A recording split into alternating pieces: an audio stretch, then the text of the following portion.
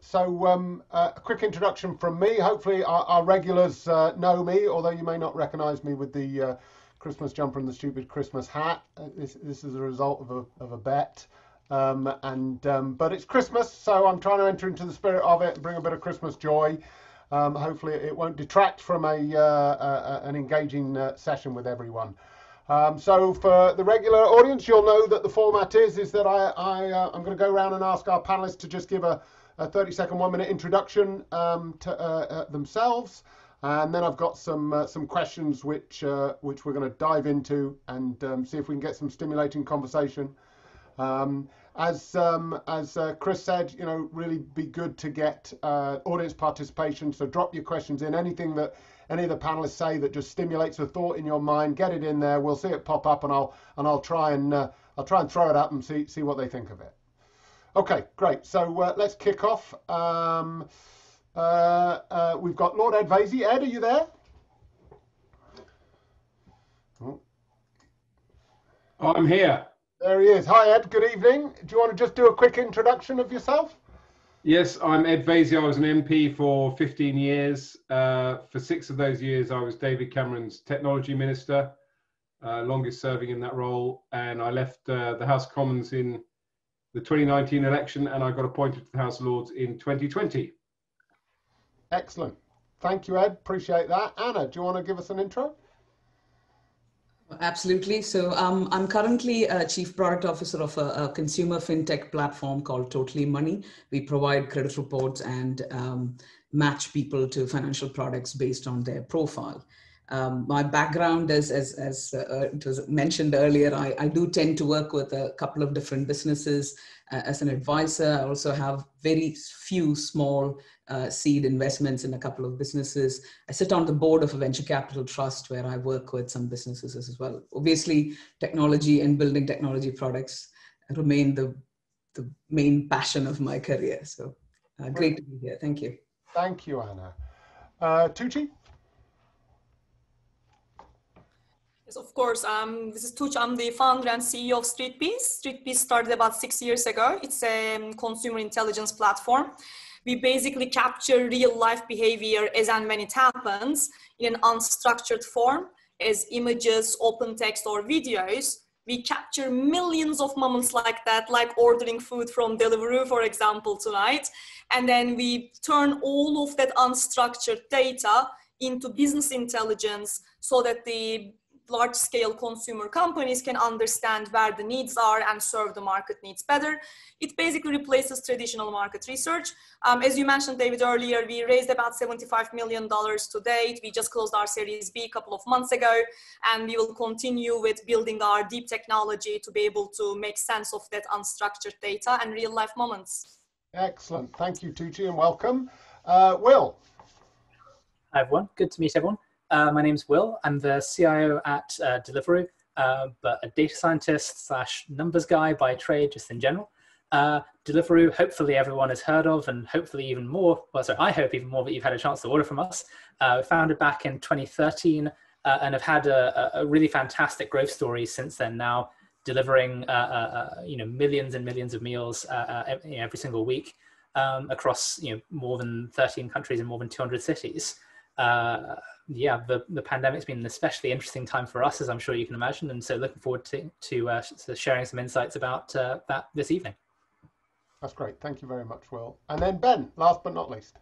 Hi, folks. I'm uh, Ben Chisell. So I'm VP of Product at OakNorth. So those of you who don't know OakNorth, we're a kind of, uh, we've got two companies really. We're a UK bank uh, and we have a credit intelligence platform that we uh, sell to banks around the world to help them make better decisions about who to lend to. So actually, you know, a credit version of what uh, Tugce mentioned, um, really about helping uh, institutions take all of this unstructured data about businesses and use it as the you know way to improve the intelligence in their, their business. So um, I've been a career product guy mostly, almost 15 years doing product management for various companies from pre-product through to to Amazon, uh, mostly on the kind of uh, you know deep data side of things, um, but you know quite a lot of breadth of experience as well across a few different areas.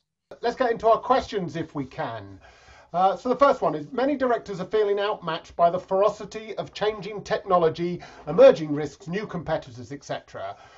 So what are the advantages of having a, an IT, a tech person actually on your board, you know, holding a board seat? I know this is happening a lot, but, but you know, there are still some boards who are a little old fashioned and the IT guy or girl doesn't quite make it onto the, onto the board. Um, Ed, what, what are your feelings uh, uh, about this? What you know, uh, do you think the government is keen to see this kind of representation at a board level?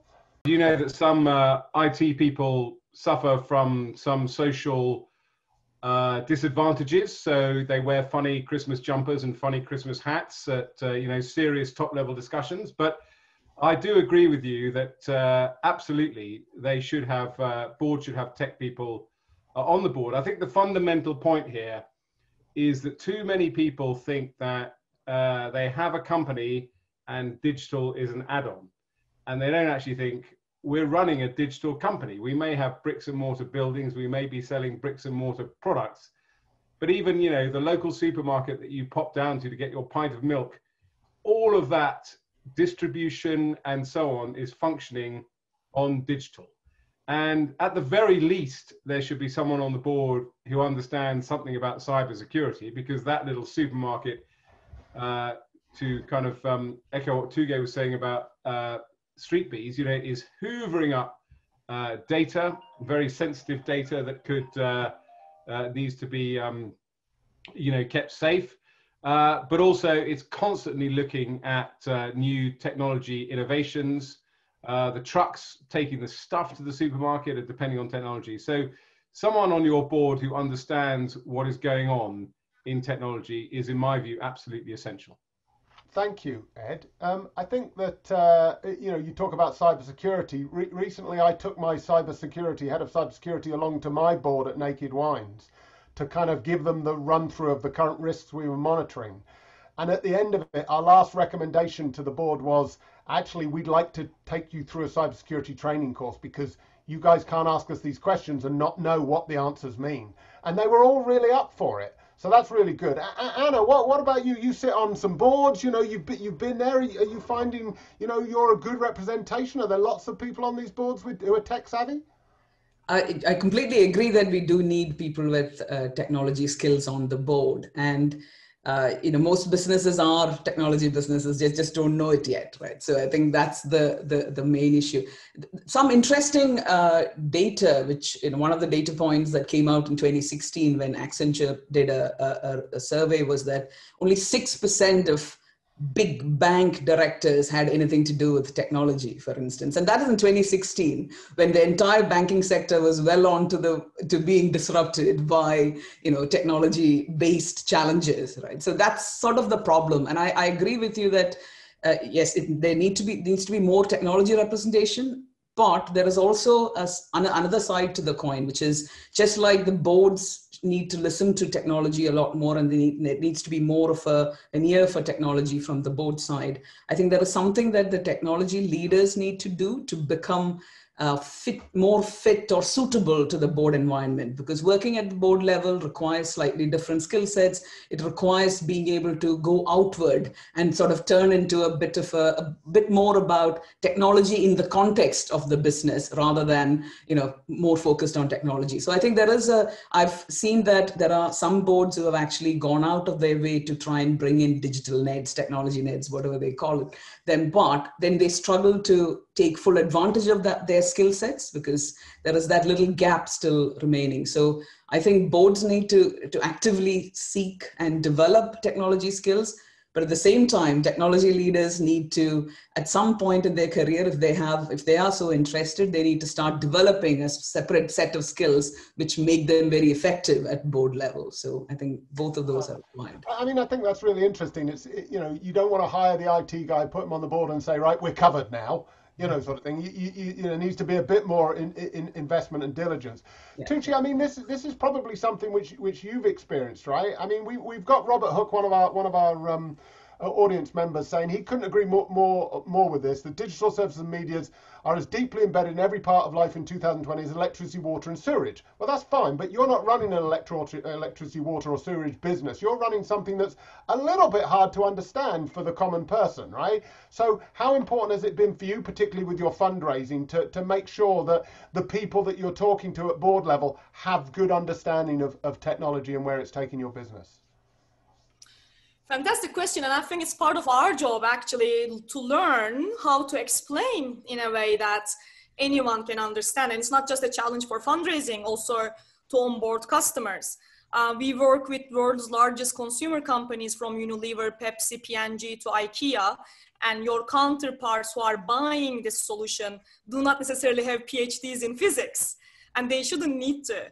We should be able to explain in a way that it's accessible to anyone um, but I remember the very first time when we raised our seed round, our seed investor had told me that, Tuğçe, your biggest challenge with this business is going to be just to explain how does it actually work while you are fundraising. Everything else is going to be a lot easier in terms of performance and you know KPIs, etc. And I think everyone is coming up the curve that what we see when we started six years ago to explain what deep neural networks do why do we need them? Why does it take so much investment to build um, a knowledge graph? How is how is a knowledge graph constructed? And there was a lot of you know people feeling asking for example statistical questions which are irrelevant because at the scale of data that we are dealing with which are millions and millions some statistical questions become irrelevant but I can see the market is moving super fast. Now we go to customer meetings, they already know what hyperparameters are, for example, before we even start the you know conversation about it. And I see the same thing at the board level as well. Like the savviest investors are coming up to speed quite fast. Let's move on to our next question. Um, so this one's a, a, a little bit of a, um, uh, a, kind of inspiring type question. So which industry sectors or standalone organizations do you think are making the greatest advancements with technology and what are they doing that stands out? So I'm, I'm going to come to you, Ben, right? So Oak, uh, OakNorth are, are, doing some fabulous stuff themselves, right? And, and I think you, you might feature in other people's answer to that question. But it'd be really interesting to know who's inspiring you out there, who's doing stuff that you're thinking, wow, that's interesting, that's, that's a great use of technology, it's innovative. Yeah, I mean, I think for, for me, the thing that always kind of excites me or impresses me is when I see someone taking a or just starting with the the customer problem rather than starting with the technology.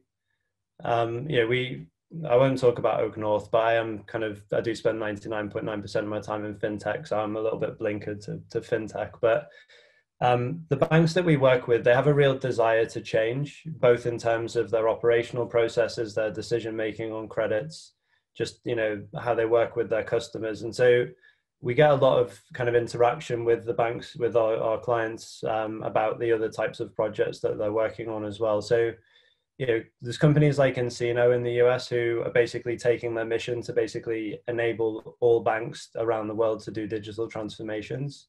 So rather than banks having to figure this out by themselves, they've got a really trusted partner with a really great platform that we integrate with. And actually, it just, you know, this kind of, um, it creates an ecosystem where it's going to enable innovation for the, you know, more, you know, kind of other uh, companies trying to solve very specific problems, yeah, kind of credit and payments and, and stuff. I think another company I personally really admire is Stripe, just because they're taking such massive um, kind of problems. You know, their, their mission statement of uh, you know grow the GDP of the internet is is almost you know as, as you know, it's hard to kind of think about bigger things really.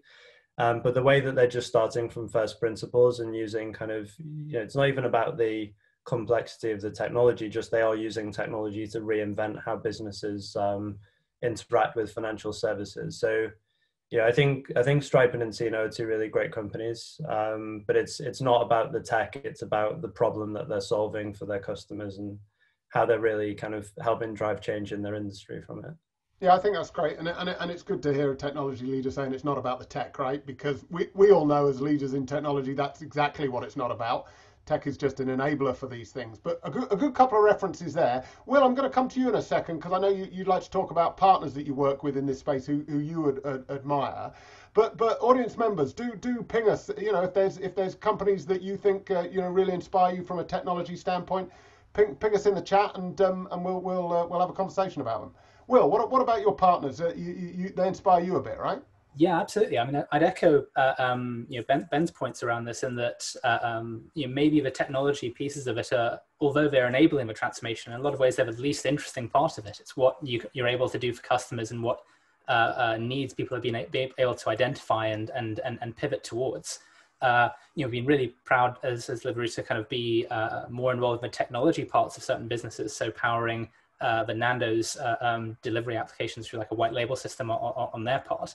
You know, this is this is something that we can now do to help them uh, move faster and move in a te more technologically uh, uh, you know, savvy kind of way.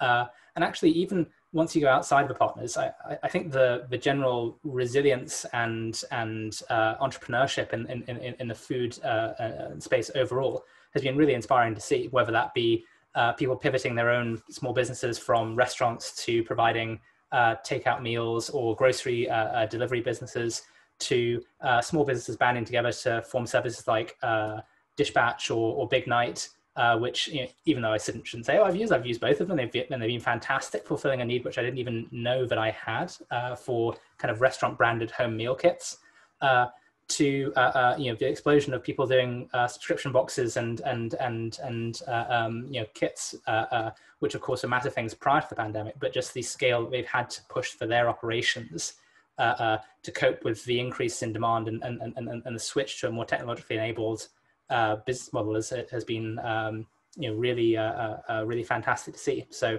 all over the food space has, has, have been kind of inspiring examples for us. That's excellent. Thank, thank you. Some, some good examples there again. Ed, what's, what's, what's the establishment's view on this? What, what, what's going, what's going good and taking the attention of the government? Do you think? In what sense, David? In, in, in the sense of uh, inspiring technology organisations, le people leading the way out there. What, what, what, what, what, what are some that, that you, uh, you, you sort of think are uh, leading the way and showing, showing people how it's done with tech? Well, I think uh, one of the uh, things that I thought the government did very well under David Cameron, and I'm obviously parti pris, was actually its own government services. So uh, it made real progress in providing uh, digital services to citizens, and it changed the whole concept of government. Um, the uh, stickers that everyone put on their laptop was, you know, what is the user need? And traditionally, I think government has got it wrong because it's always looked at what is the producer's need? How do we look after the workers, if I can put it that way. Nothing wrong with looking after the workers, but never actually thinking how people use services.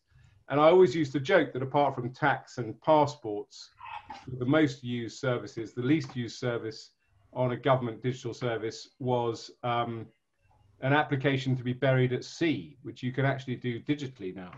But I think, uh, you know, apart from obviously Deliveroo and others, I mean, I think that uh, the, the, the trick for government uh, and again, uh, I, am sorry to come across as somebody who's always looking backwards rather than forwards, but the trick for government is to embrace, I think, disruption. So when you see companies like Uber or Deliveroo uh, doing things differently, uh, the trick is not to say, how do we stop this happening because we have to protect the incumbents? The trick is to say, what can we learn from these companies and how can we enable them?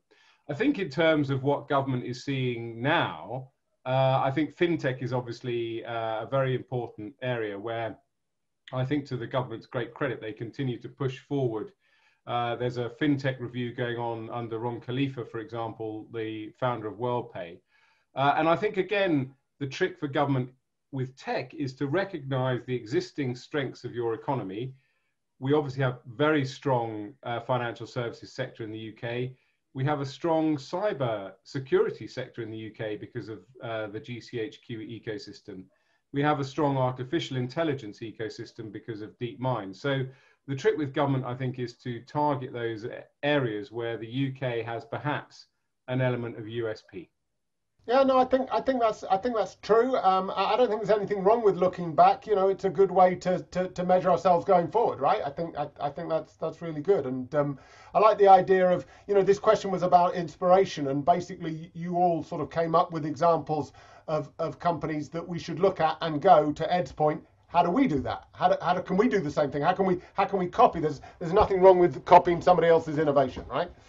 Let's uh, let's move on. I'm going to stick with you, Ed, if that's okay for a minute. Um, companies are innovating rapidly. What will it take to exceed our customers' expectations in a digital world? So everybody's turning up. Everybody's absolutely kind of like wanting more, more, more, and and the more innovative companies are delivering more, more, more. When, when are we going to run out? When are we going to not be able to, you know, meet the demands of, of the, the increasing demands of the of the British consumer?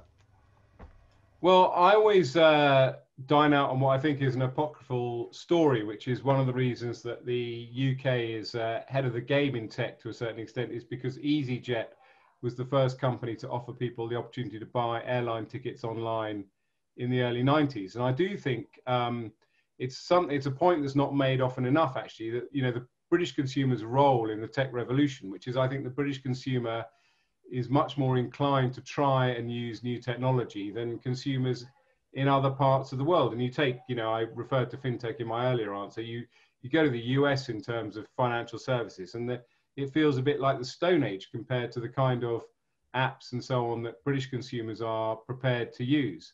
Uh, but I think, um, you know, obviously you've got a whole host of experts on this call who are actually running digital companies.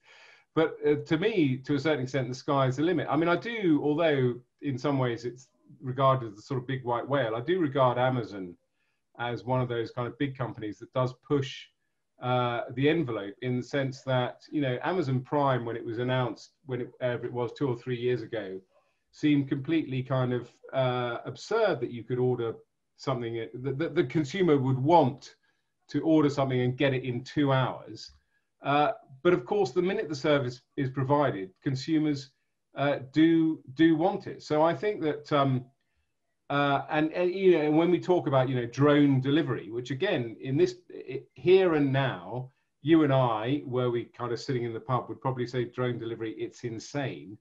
Uh, in three years' time, it could be the norm. That apparently there are architecture firms now designing residential homes with a mini drone landing pad for delivery. So I think uh, the ideas that we think are out there and slightly absurd today actually could be the norm in two, three years' time. And I think, again, uh, kind of tying together my slight stream of consciousness, that again is the trick for government, which is to constantly, you know, I, I always used to say uh, with the tech sector, the reason I loved it so much was because it was full of people saying, this is how we do things today, ordering a taxi how do we change what is actually a routine and quite dull thing to do using technology? And you actually end up making it very exciting and very different. And i think that is why tech is such an exciting sector yeah, I, I, I, tend to agree. I mean, Will, you know, I think to Ed's point about, you know, who knew that everybody would have an expectation of getting Amazon deliveries the next day, right? Your your company's experienced this. You were doing some amazingly new things in delivery, and now everybody's taking it all for granted and wants more, more, more. How, how have you found that? Absolutely, I, but I, I, I, I didn't see it as a, a negative point at all. And exactly as as, as Ed was saying, the sky's the limit with with the potential for innovation here. Um, but, you know, it's it's very interesting to kind of think back and put yourself in the mindset of how things were at a given point in the past rather than focus at the now. Um, you know, if, if, if, you think back to Deliveroo founded in 2013, it was a, a, novel and interesting idea that you could get any restaurant food delivered to you uh, uh, um, at home just with a press of a button. Um, that's now the baseline. Uh, uh you can see, you know, now the expectation is, wait, if, if, I, if, I, if I don't have this food in 15 minutes or 30 minutes or whatever it is you, you say that I'm going to get it in, then that's now a, a massive negative you can see the same things in, in, in, in terms of, of kind of personalization, kind of user recognition on, on, on applications where, uh, you know, you might have been thrilled 10 years ago that an automated email actually knew your name. Uh, now, anytime like uh, uh, you call up a customer service department and they don't know your entire order history and your intention when you were purchasing different things, you think it's an outrage and, and, and, and, and a disgrace.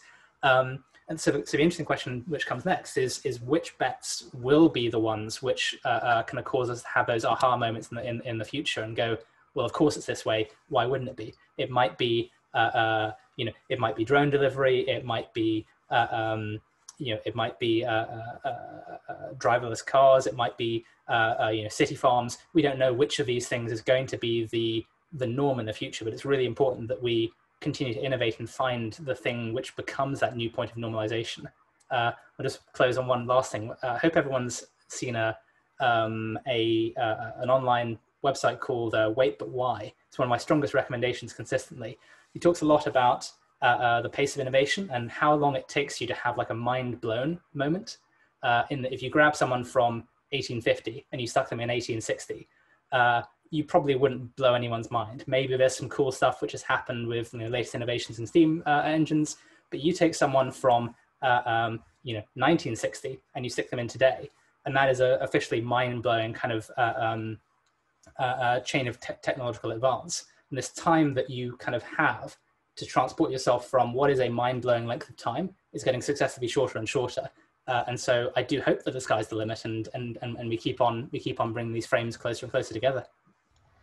I, Can I just butt in and say uh, on Will's point that I thought it was uh, it's a very telling point. It's a brilliant point actually. I'm gonna it's why but wait I have to go on.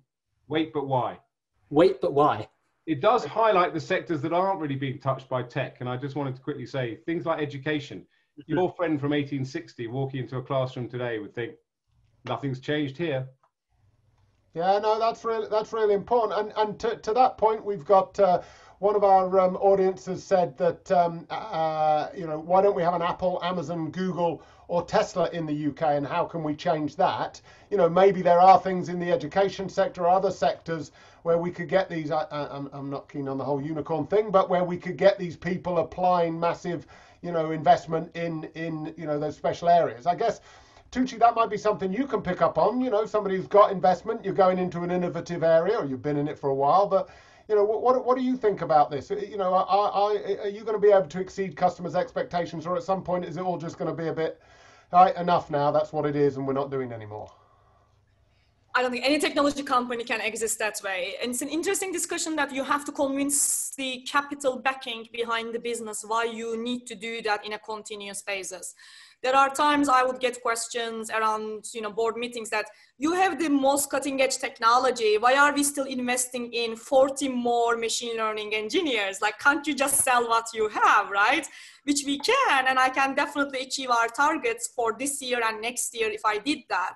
But if we want to stay ahead of the market in three years, we need to build that technology. We need to start building that technology today right? And it constantly comes from the client conversations, what they need, observing what they need, and start responding towards that now. So I never met any technology leader where they would say that, well, we can pause now and then let's see what happens because you're going to fall behind incredibly fast. There's another interesting question on the Q&A side about like, why are we not seeing Amazons and the likes of it emerging, you know, out of UK? I mean, I think we have to first of all give a lot of credit to Deliveroo here, right? Our homegrown company um, with incredible scale. And I, am sure Deliveroo is not going to be alone in that journey. One thing, you know, Ed joined, uh, touched earlier, in some countries, it's interesting, although Britain is ahead in technology adoption for sure, like compared to fintech in the US, for example, some of the other countries are leapfrogging us.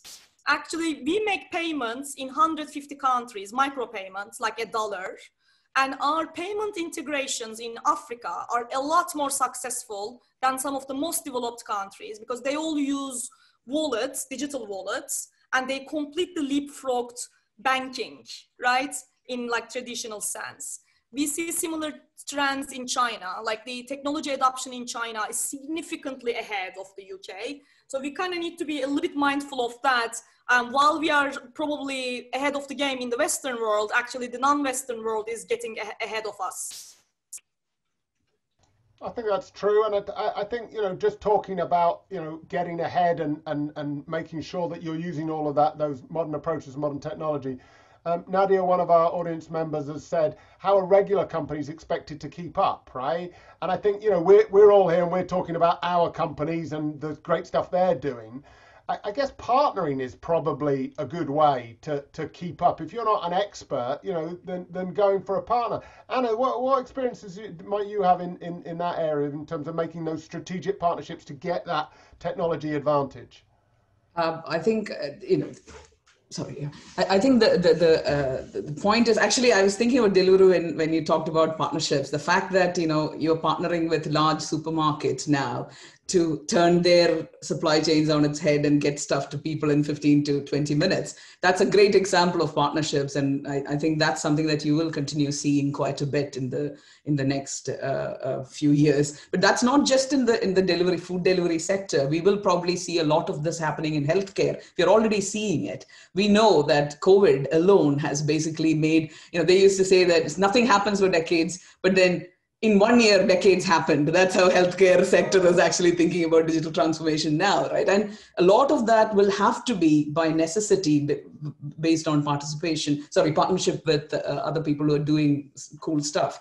And but the, the, just uh, going back to the earlier point about why do we not see uh, the Googles and the Amazons out of out of the UK. Um, part of it, I have a slightly contrarian point of view on that. I think we need to look to our strengths actually, because what we forget is that there are some things that every all all of these companies come out of innovation clusters and decades worth of work and research and government grants and funding and you know all of the academic work behind that that's what culminates in all of these big companies. And we do have in the UK some amazing sectors that are actually really ripe for that kind of explosive growth. Biotech is an example. You know, obviously, I'm not in any way qualified to talk about biotech. I don't work in biotech. I'm not a scientist. I don't know anything about it other than the fact that I'm a student of the industry and I look at it. What is really mind blowing in a, in a very, it's not normally front of mind for people who work in other tech sectors, but would you believe that according to the Association of Investment Companies,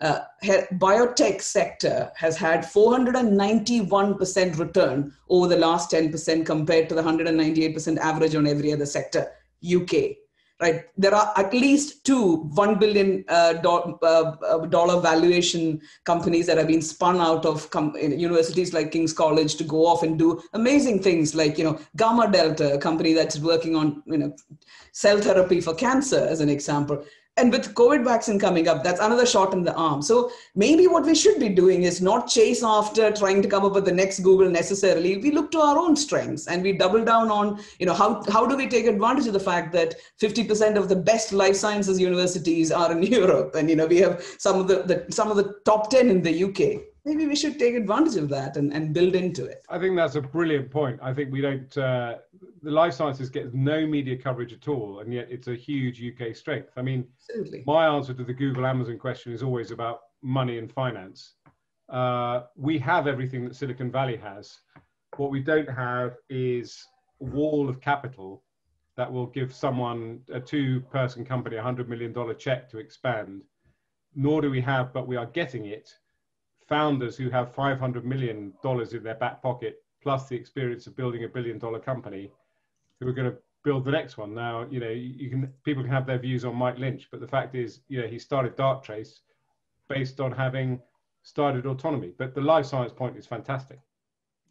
Yeah, no, I think I think that's good. And up in my part of the world in Norfolk, you know, we're, we're building something called the Tech Corridor between Cambridge and, and uh, Norwich um, because of the biotech and the agritech and the life sciences community that we've got up here. And there's massive investment going into that. So I don't know why it is, Ed, as you say, you know, it's not well talked about, but there is a lot of stuff going on on in that world. I, I love the idea, Anna, of playing to our strengths. I think that's I think that's really important. Um, so um, a, a, few uh, a few suggestions from some of our audience. So um, probably one to throw to you, Ben. So uh, Revolut, Monzo, Starling, and TransferWise have made significant process in financial innovation. Ed touched on this. You know, we, we do seem to be at the forefront of fintechs. What, what, why is that, do you think? Is that playing to our strengths? Uh, I, I, mean, I think, and, and OakNorth as well, right? I've had the privilege of working for, for two very successful uh, UK based fintech. So, um, I mean, I think it's part of playing to our strengths. There's there's so many people who just have you know wealth of experience in you know in financial services in London. It's it's kind of a foundational thing. Um, I think that it's it's kind of there's maybe a couple of other things as well. I think one is just a real passion to solve the problem. Mm-hmm. You know, the thing that you know, obviously, I know Anna Starling and Rishi at very well, and they that it's the founder's story. You know, they've been heavily involved in financial services, completely different um, aspects of it, but they've come across problems that they've just they've just thought to themselves, right, I've had enough. I've got to go solve this myself. So it's like the you know the the the experience and then the you know the not not just to kind of identify the problem but actually have the confidence to actually know that we can take this on and, and solve it um, and just not really have a plan b you know it's but i think it's just that it's like the the experience and the desire. And i think just because we've got critical mass of people in financial services you just kind of you're going to get one or two at least of those companies to break through. And as soon as you've done that then you start to to see this whole ecosystem appear. Um you know i think the the thing for for me maybe slightly related to the previous question as well is just it's it's basically being and something that amazon's very good at is just being unafraid to take really, really, really big bets. You know, it's not about just tweaking this and optimizing this by 1%. It's like, you know, Amazon going creating a movie studio, which I was involved in in 20, 2014. Right. It's like, you know, who'd have thought like 10 years before that people would be making these types of bets to go and drive their business. So I think, you know, we've got folks in, in financial services willing to to make those big bets, but it's kind of going from zero to one, like not having a company to having a company. I think the the, the interesting thing for me is what comes next, where these companies go from just having one business and one product to starting having multiple businesses and multiple products. Um, you know, so I think it's only really the start of the financial services innovation in the UK. I think. Well, that's great, and let, let's hope that we get that kind of you know uh, desire, effort, and interest, as you're saying, in, in a few other sectors, because it, it seems to be the way that we get stuff done, right? So yeah. uh, I'm not yeah. sure we'll see the, the the Starling or the OakNorth or the Monzo movie studio though. Well, maybe not. You never know. A little bit of diversification never hurt anybody, Ben, right? Somebody else has asked just around this, and we'll, we'll finish up on this question for, with this point, right? Does the panel think that the continued innovations you're discussing will be inhibited by an increased reluctance for individuals to share personal information under GDPR, which may impact data mining, etc.? a lot of innovation relies on developing personalized products that require that information. I think this is really true. This is an area that my business is getting into more and more heavily. Um, you know, I, I know from my own experience and my and my friends and family's experience, the whole kind of world where you just, you know, every we're all having these conversations at the minute about. I'm sure Facebook is listening to me. I'm sure I mentioned that I was interested in a lawnmower, and five seconds later, Facebook is trying to sell me a lawnmower, right? And and I mean, we all know that's absolutely bloody true, right? So I think, but but my question here is is that do we think that this is all going to slow down? Do we think that GDPR legislation is going to slap us all down and we're all going to have to go back to a much more bland experience where, quite frankly, the consumer's going to have to work harder for what they want? Interesting. That, that one's open to anybody who dare have a go at it. David, can I jump in? That's something I feel very passionately about.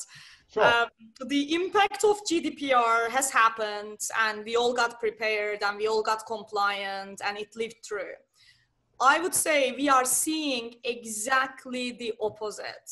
People want to share more, and they actually want to do that in a secure environment where they can trust their data with the companies who are actually taking all the necessary measures to be able to stick to the you know authenticity under which conditions they are sharing that data. So I always remind people there are two really, really key points here. Being open with the user what the data is going to be used for. That was a big change with GDPR, and every company got forced to do that.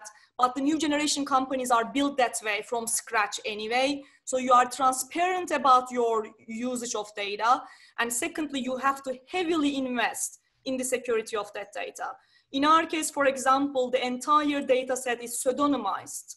What that means is that although we know your phone number, your email address, your name, and your address and everything, the actual data set is completely disconnected so that even if the system is hacked and the data is stolen, no one can connect the actual data set back to your, your, your user details, which is a simple system for security purposes. But it's really interesting to observe that in many markets, we operate in 150 markets, we are seeing that people are increasingly willing to share that data as they can trust organizations about it. And, and I don't think it's just trusting the organization. That's a that's a big thing. So we have to invest in that in our brands and all of that kind of stuff. But I think also it's like I, having experienced bits of it, I think our consumers like they want more personalisation, a bit more commit, so they don't see all the rubbish that they're not interested in, but they actually get a more focused thing. Ed, let's just I, have got to move on to the next question, but i have got a funny feeling you might have been the tech minister when GDPR was first mooted, right? So so did, did it work out how you guys thought it was going to work out?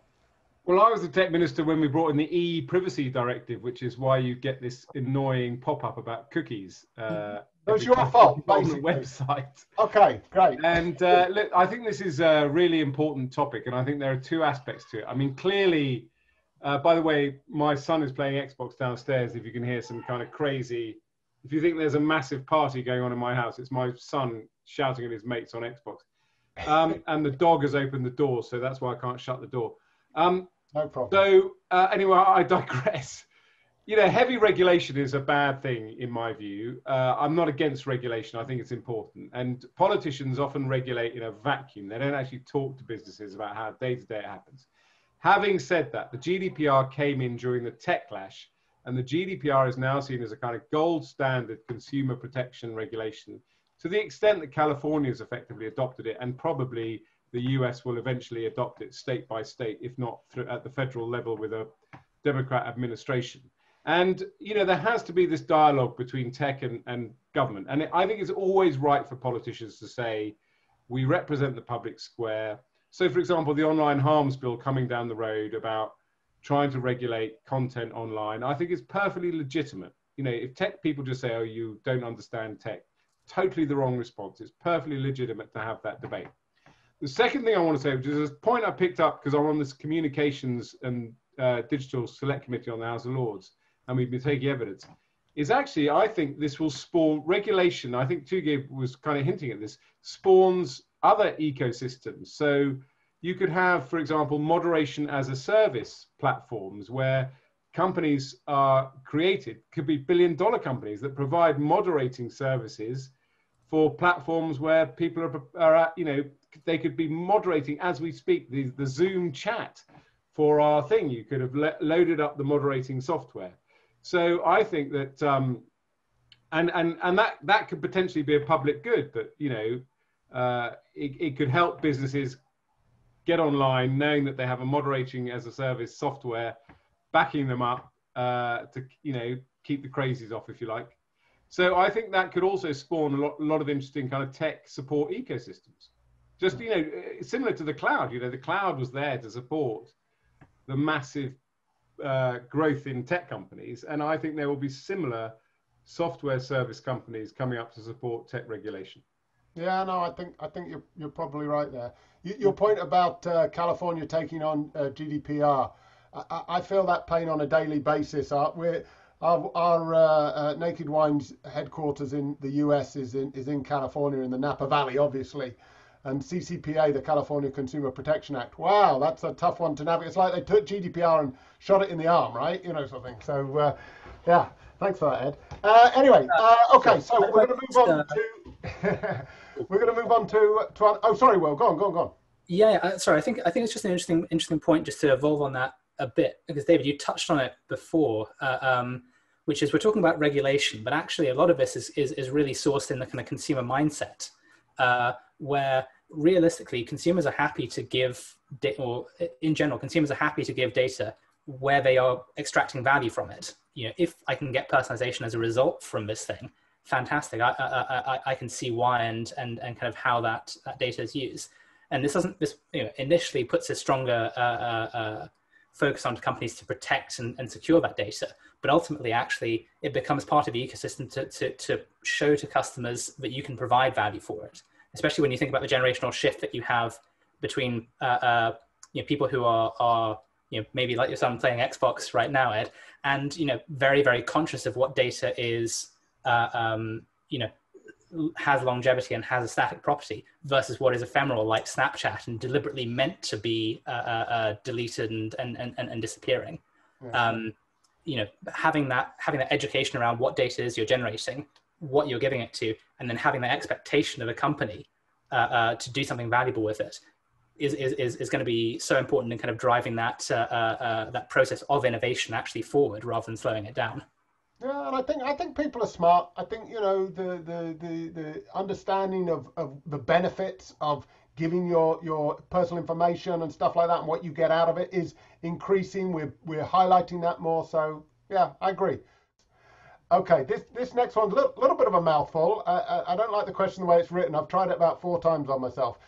We're talking about digital transformation. Ah, oh, big buzzword. You thought you were going to get through a conference without talking about digital transformation, right?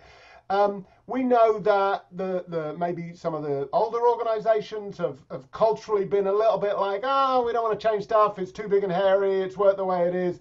So digital transformation, they often blame legacy technology challenges. It's too hard. It would cost too much money or, or regulatory barriers or whatever. And, and there's a lot of like, you know, we can't do this. We can't do it. It's not right for us as a business.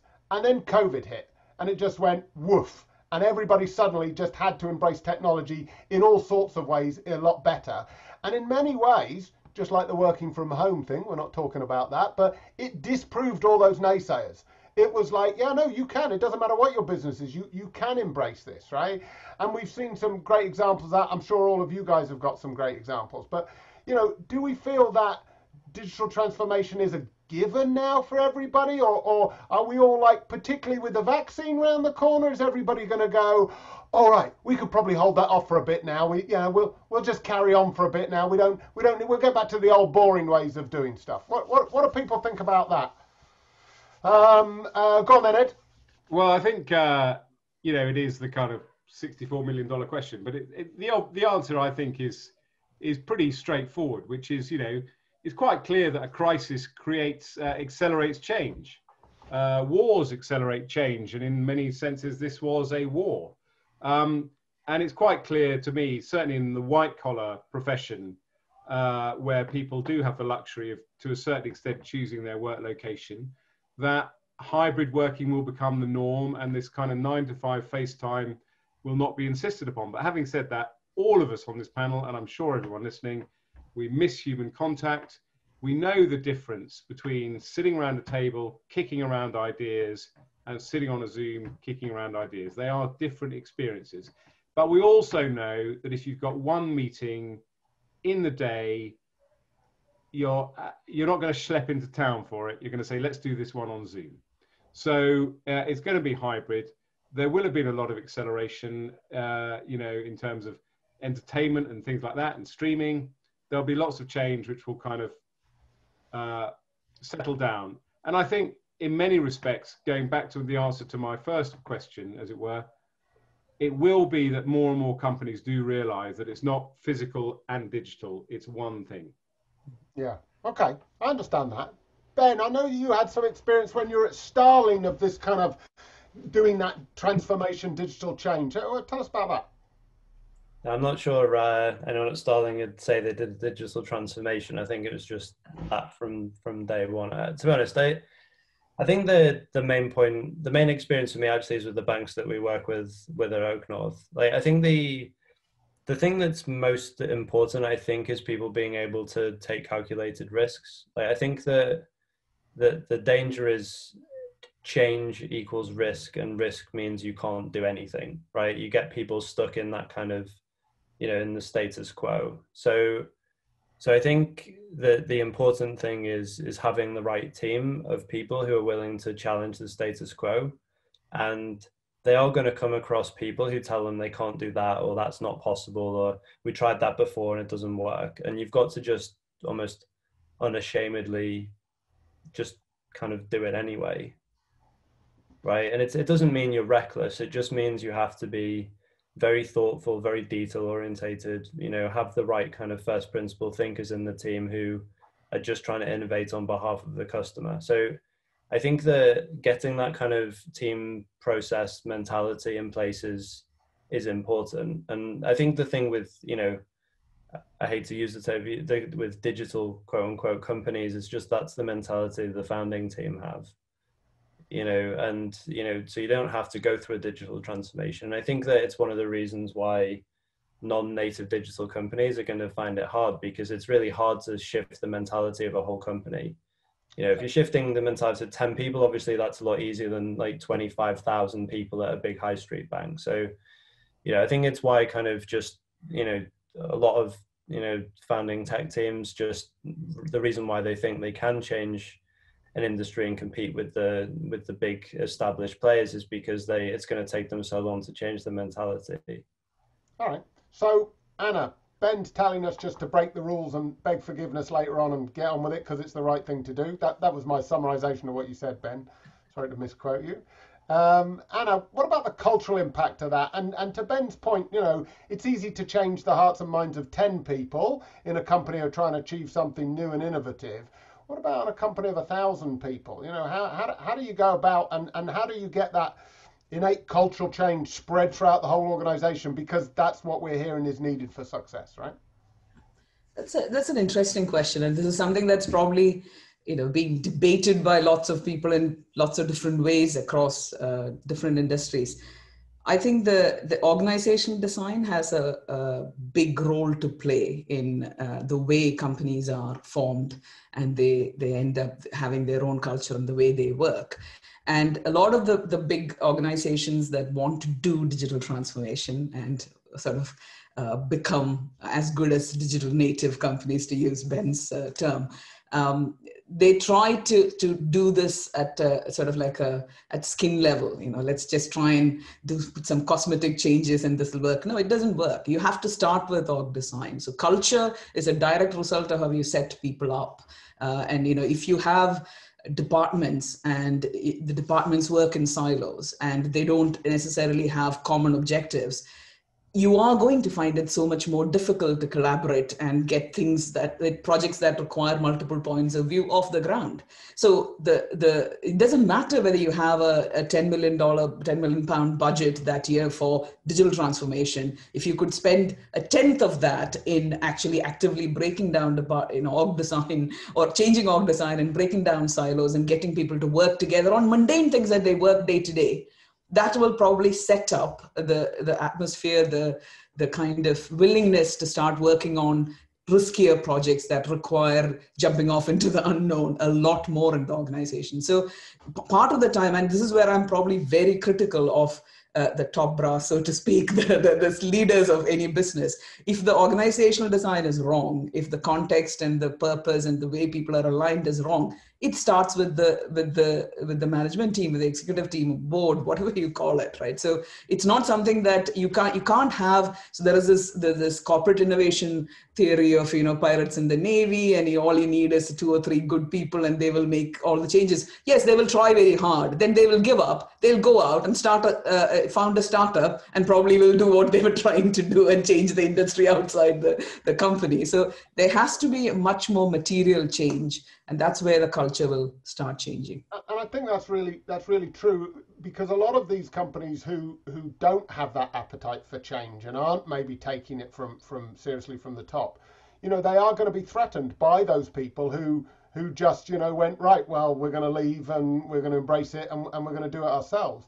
And i think that's something that those companies really need to listen to from the technology industry is that you know, you might not be here. Look, just look at the last five years. Look at some of the businesses who have not survived because new entrants in the market have come along. And uh, yeah, Ben, I, I, I guess that the big banks are going to be around for a while, I guess, right? They've got deep pockets, they're going to be there. But you are, you know, you're biting at their heels, right? Sort of thing. And, and, and, you know, a lot of them have started either buying some of the smaller fintechs or partnering with them a little bit better surely that's because they're scared because of their culture and their approach to, to digital adoption yeah?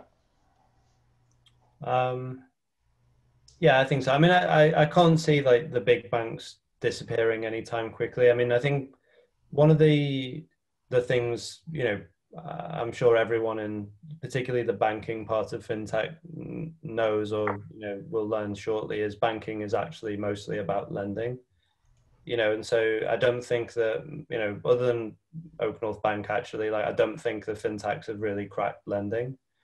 Um, yeah, I think there's been some opportunities with with COVID that you know, particularly Starling's made like massive um, a massive opportunity of and done a really good job of. Um, but you know, I think that the bank, the big banks are going to be scared when the when you know when the the, the fintechs crack lending. Um, but I think that you know there's two kind of things come to mind. One is yeah, it just goes back to the point before about making big bets. You know, when was the last time a, high street bank made a big bet in a new thing? That I think they're like a bit a bit on their heels. Um, and the fintechs are actually willing to take take bets and be wrong and, and things. So, you know, I think that the thing I would be scared of is the ability and the willingness to take big bets, which you know Monzo start. I mean, Revolut actually took a big bet on you know competing with Stripe, you know, with with all of their services they announced the other day. So, you know, I think that's an example of a big bet that I just I just can't really see the the high street banks kind of doing. Um, you know, and some of the you know the I mean, obviously like the the Netflix blockbuster example is kind of a um, good one of the on the innovation innovators dilemma type examples. But you know, Blockbuster tried an online streaming service, and their exec team killed it, right? Because they didn't get the right returns. Because actually, to Anna's point, their organizational structure meant everybody just pointed and laughed at this business that made you know a fraction of a percent of the revenue of the of the main business and so they got scared the team got disheartened and they just it just kind of shriveled away so I just see that's kind of the problem with the big companies. And so, you know, unless it, they, they get their orgs right, unless they get their culture right, then, you know, they're not going to compete.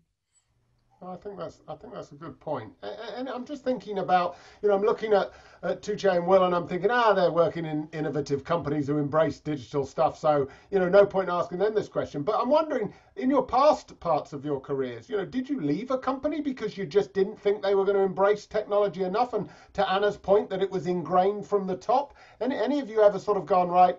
I can't do this. I've got to go somewhere better. Yeah, so that actually describes pretty accurately uh, um, the reason why I kind of left and, and, and joined Deliveroo. Um, I was initially part of uh, first job I had out of actually the very first job I had out of university was was was making chocolate, which was great. Uh, the first job which paid me money rather than like just about broke even uh, was with uh, Streetcar, a UK startup doing uh, car sharing, which was acquired by by Zipcar uh, an American company with a, with a, similar sort of model, and very much the idea around it was the disruption of the transport uh, uh, you know system in, in, in urban centers. Uh, you know, we had a vision to kind of transform the way that people moved in in in, in cities, uh, and and you know after uh, IPOing, we were actually acquired by Avis Budget Group, the the car rental people, who you know had a, a, vested interest initially, at least, in kind of seeing this as a, a kind of innovative second business line, but uh, over time thought a lot about kind of the, the success of their, their core business as they, as they would because it was the thing that was generating profit. And and increasingly considered well how do we use these innovative tech tools in order to tweak and maybe make the rental car business like a little bit better a little bit more effective a little bit more uh, uh, like slightly hybridized? And you know whilst there was a, a, for sure a fantastic profit opportunity in that and some great synergies for the company it was by no means a sort of uh, a technology first kind of approach to something. It was by no means a uh, uh, uh, the kind of revolutionary change which you can see if you're if you're in a, a you know community of like-minded individuals kind of driving towards a change at pace. Uh, and so yeah, it was that was the reason why I quit and joined Deliveroo. Cool, excellent. Thanks, Will. I think it's good to hear people's history and the, the personal choices they make based around, you know, the culture of a company and the direction that it's setting from the top. Tugce, what about you? Um, it's interesting, I think, um, that that's pretty much why I started Streetbees um, because I was getting quite scant tired of working with research companies who just not going to use any technology to get us the results that we needed. So I was a strategy consultant in, in a previous life before Streetbees, and I started our technology practice within the consultancy. And I remember that we were doing actually some due diligence on Just Eat at the time, uh, pre-IPO. And it was super interesting because we needed data about takeaway behavior from Brazil, Russia, and we just needed that like yesterday. You know, we don't have two months to wait to gather the data. And I went to the you know traditional companies like Ipsos and Kantar, etc. And we, we basically told them, we even told them how they can do it with the technology we were recommending. We just needed the data. And basically it was cannibalizing their consulting revenues and people-based revenues and they were just incredibly resistant to it to the extent that i felt i'm just going to have to leave and start a data exchange platform which does that because none of the traditional 6 billion 7 billion businesses are willing to do it. Which is quite interesting. I, think it comes back to david what you were saying about culture. Yeah, and I and I think it's not it's not um, you can do it within a big company. I remember when I was at Sky, um, you know, we came up with the concept of Now TV, which of course everybody knows and loves now. But um, you know, I, I, think I was employee number one for Now TV, and and we got there, and basically. Um, the board of Sky was sort of interested in it, but were worried that it was going to erode their core business in satellite television, right? And and now now now TV is the golden child of, of Sky, right? And it complete and it took real boldness from the board. A lot of work, I have to say, to your point, Anna, of going in and convincing people and stuff like that. But it took boldness, which is guess I guess what you're saying, Ben. Make those big bets, you know, and and chase them through. So you can change that culture even within a large company if you've got the right kind of attitudes uh, going. Now, you know, it's coming up to Christmas. A little bit of a feel good question, this one.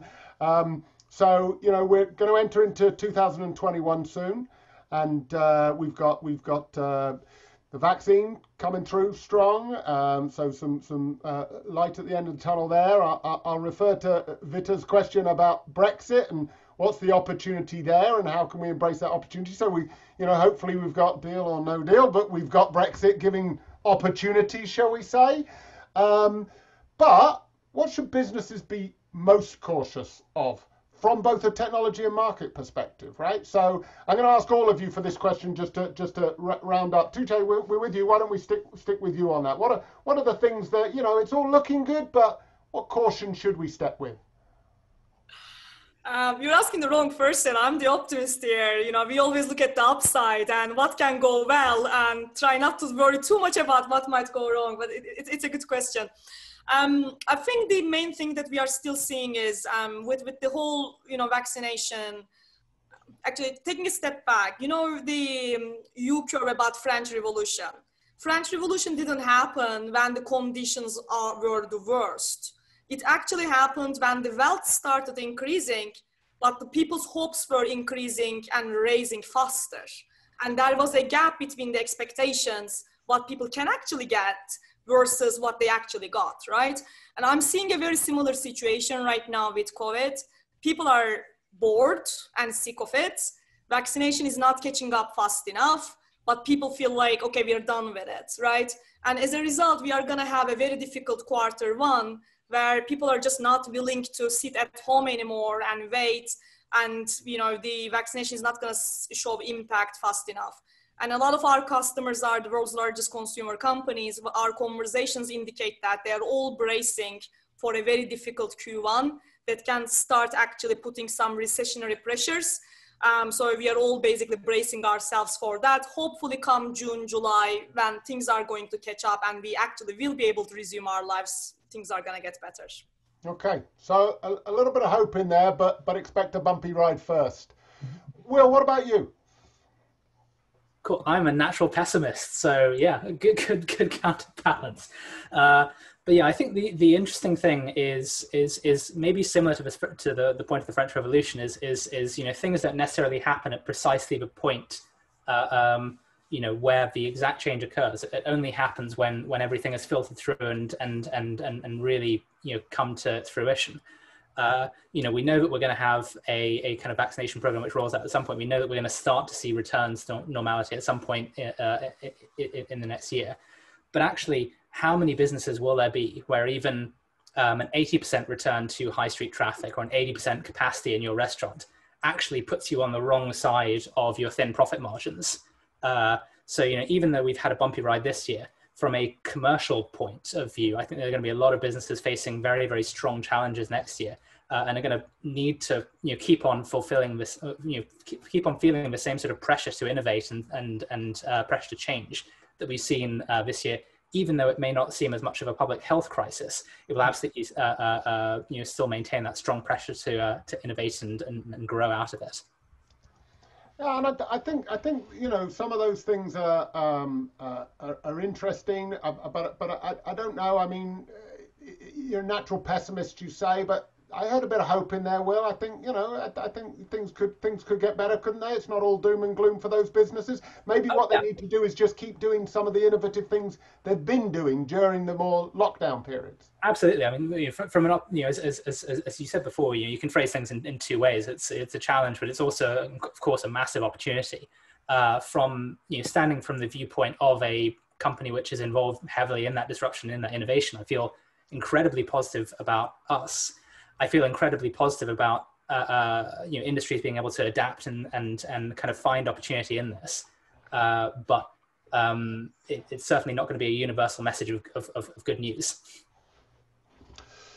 Ben, what, what's your thoughts on this one? All doom and gloom, or all looking bright and breezy? Um, I, am a natural pessimist as well. I'm sorry. Um, I think Anna and Ed, I'm coming to you in a minute. I hope you're optimists. we need a bit of brightness here, right? I mean, just as the nature of kind of what I spend a lot of my time worrying about, I think just to the point points we were talking about before around GDPR and information security, I think it's it just continues to be, you know, a you know, if you if you get it wrong, a you know, reputational damage that can can't be undone. I think that you know just as as the innovation is going we've got to be really cautious about doing doing it very responsibly. Um, you know there's a lot of people around you know fraudsters trying to you know look at everything that people are trying and trying to find any ways to exploit them. And so i think that you know the the risk side of risk management side of things you know while these you know great innovations are happening is equally important I think that's true. I think also as as things return to normal, people will start to relax a little bit more. You know, companies and and people and how they approach things. And so I think you know that's the time when we've got to be extra vigilant. And also, I think everybody got a bit of a bye during the major part of COVID. It's like, oh, we're in the middle of a pandemic, cut them some slack, right? I, I you know, as we start to come out of it, we can't hide behind that anymore. We've got to be on our game, right? Anna, what do you feel about that? I, I think the, the, the one thing if uh, the businesses need to be cautious about is resisting the temptation to go back to what they perceive as the comfortable old normal. I do believe that, uh, particularly for the younger uh, generations, this is a life changing event for a lot of people. People's ideas about where they should stay, where they should work, how they should get entertained, where they should eat out, where they should eat in, everything has taken a, a, a, a shaking this year, right? A big bit of a shake up people our, our pre-covid uh, e-commerce revenues were 20% of the retail sector. It's now went shot up about 30% and it's sort of stabilized at, at 30% that's in one year you know more than 10 percentage points growth. I don't think people are going to go back to the old world. And any business that approaches 2021 as okay vaccines here everything's back back to normal and by even if I, I can if i can somehow hold on to a, a, you know the commercial risks for uh, six to eight months and things are going to back to normal and then i'd be fine i think that's going to be a really bad uh, position to take. So that's the caution. It's funny in, in i'm actually very optimistic. I'm optimistic that there are very positive changes that will come out of this. And the only thing that businesses need to worry about is forgetting that and trying to crawl back to the comfort blanket of a, a, a known normal, which is my point. Um, I, have just been notified by BBC News app that uh, Boris Johnson has arrived safely in Brussels. So on that particular note, does that mean that 2021 is rescued? Is that is all good now, Ed? Is that is that are we done there or? Well, I mean, they'll try and put something together, you know, but it's all sort of irrelevant. You know, they've built the lorry parks, and uh, everything that's going over to Calais is going to be paying. Is going to be they're going to be filling out forms, and, and what should have been a roll-on, roll-off thing is now a ten-hour journey. So it's uh, suboptimal. I mean, I am a pessimist as well in the sense that uh, I feel to a certain extent the economy is like, uh, you know, one of those cartoon characters that's run off a cliff and is still uh, you know the legs are still kicking. I think there's a lot of uh, hidden unemployment and uh, you know quantitative easing and and so on has has kept us going through the pandemic. But you know Rishi Sunak is fighting this constant struggle, you know, with the sort of devil and angel on his shoulder, desperately trying to kind of produce a budget that will start to get the economy back to balance and constantly being buffeted by people saying, no, you cannot stop furlough now, and so on and so forth. At some point, it seems to me, there has to be a reckoning.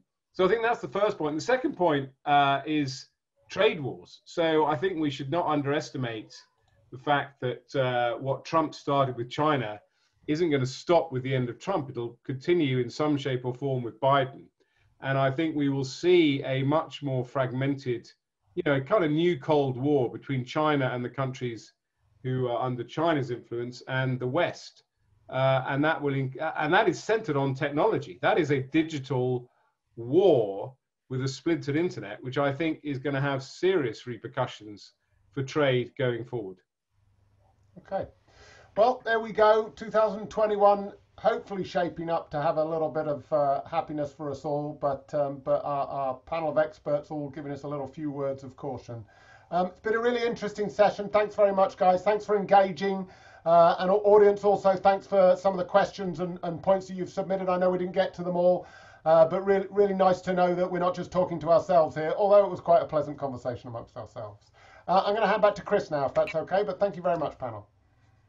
Cheers, David. Um, yeah, look, thanks everyone again from the, the speakers. Really engaging conversation. Um, thanks everyone who tuned in this evening. Appreciate it's December. We've got Christmas parties um, and things to do this evening. So this is going to be distributed across all our platforms thereafter. So we'll send out a notification when this is live um, for you to kind of watch back if you want to. Yeah, have a great Christmas, Happy New Year, and see you in 2021.